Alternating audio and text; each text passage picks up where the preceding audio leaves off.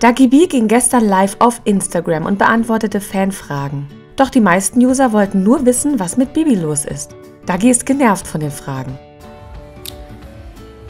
Warum kriege ich solche Fragen? Ist Bibi schwanger? Ja, ich bin die Frauenärztin von Bibi und ähm, ja, sie ist ähm, im.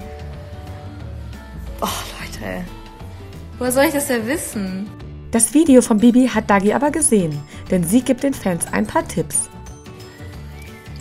Wartet doch einfach ab, was ihr euch zu sagen habt und spekuliert nicht so so tausend Sachen aus so einem 16-sekündigen Video.